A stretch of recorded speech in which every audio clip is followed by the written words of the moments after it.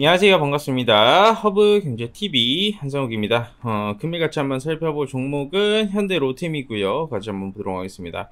어, 너무나도 고통스럽고 힘든 시장 다들 고생들 많으셨습니다. 오늘 2거래일 정도 시작을 해가지고 한 2, 3거래일 정도죠? 코스피 코스닥 시장 one-way로 어, 내려가고 있는 모습을 현재 보여주고 있습니다.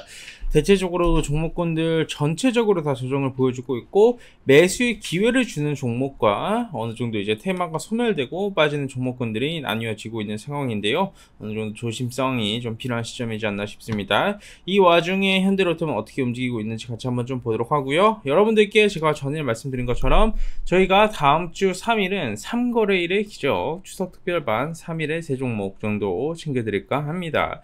이제 연휴 기간에 가다 보면 당연히 지출도 있으실 거고 힘든 시점도 있으실 건데 저희가 여러분 용돈이라도 좀 챙겨드리자라는 그런 관점에서 시작한 이벤트 니까 많은 사랑 부탁드리도록 하겠습니다.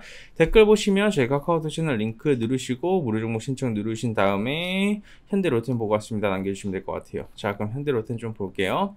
오늘 같은 경우에는 외국인들의 매도세에 어느 정도 조정폭을 보여주고 있습니다. 근데 사실 현대 로템뿐만 아니라 전체적으로 모든 종목이 다 빠지고 있어요. 오늘은 뭔가 새롭게 이슈거리가 나와줬었던 이런 스타링크 관련주들 그리고 일부 5G 관련주들 그리고 이제 뭐 일부 바이오 종목군들을 제외를 하고는 전체적으로 다 강한 하락폭을 보여주고 있는 모습을 현재 어, 보여주고 있고요. 어, 그에 맞게 어, 현대 로템 또한 마찬가지로 금일은 조정을 좀 보여주고 있어요. 있어요. 그나마 우리가 긍정적으로 볼 수 있는 부분이라고 하면 기본적으로 음 이거죠. 현대로템은 어, 기관들의 매수 유입이 아직까지 끊이지 않고 들어와 주고 있습니다. 이거는 우리가 굉장히 긍정적으로 해석을 해볼 수 있을 만한 키워드라고 생각을 해보시면 될 것 같아요.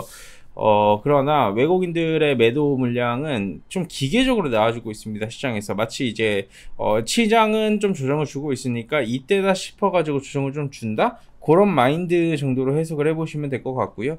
그러다 보니 좀 명확하게 타격을 주고 있는 그런 시점이다 정도로 보시면 될 것 같아요. 종목에 문제가 있고 개별적인 재료와 뭐 이런 부분에 대한 문제점이 있지는 않습니다. 그렇기 때문에 너무 걱정하실 필요는 없고요. 이거 보세요. 이렇게 시장이 빠지는데 어떻게 현대 로템부터 시작을 해서 다른 종목군들이 버티겠습니까? 지금은 좀 조정을 주겠다라고 이야기를 하는 시점이니까 우리도 좀 버티고 어, 버티 버텨야 하는 시점이지 않을까라는 말씀을 기본적으로 좀 드리도록 하겠습니다. 거기 때 주주분들께서도 그 정도까지 체크 포인트로 잡아주시면 될 것 같고요. 이게 좀 많이 아쉬운 부분이 많아요. 예, 기본적으로 아쉬운 부분들이 조금 많은 가운데 어떻게 흘러갈지에 대해서는 조금 더 모니터링이 필요하지 않을까 싶습니다. 현대 로템의 이제 뭐 유럽 유럽 뭐 유럽발 수주 이슈 그리고 폴란드 폴란드발 수주 이슈 등등 여러 가지 키 포인트는 전혀 변함이 없이 그대로 유지가 되어가고 있습니다. 근데 이런 부분은 어, 시간이 좀 해결을 해줄 수 있을 만한 키워드이고 9월달 같은 경우에는 또 연휴가 많다 보니까 어느 정도 연휴가 끝나고 10월 11월부터는 어느 정도 어, 추가적인 뭐 수주 이슈부터 시작을 해가지고 어, 굉장히 많은 이슈거리들이 좀 있다라고 보시면 될 것 같아요. 그리고 중동발 수주 이슈 또한 우리가 충분히 기대를 해볼 수 있다라고 제가 브리핑을 계속해서 드렸는데 그 관점에 대해서는 여전히 변함이 없다라는 말씀도 드리도록 하겠습니다.